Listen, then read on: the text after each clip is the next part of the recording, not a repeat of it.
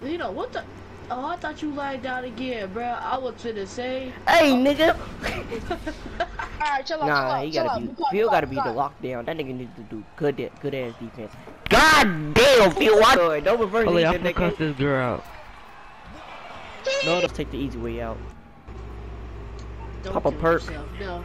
What the fuck? Kill him! Kill him! He like the dude bless him. Back it up, back it up, back it up, back it up.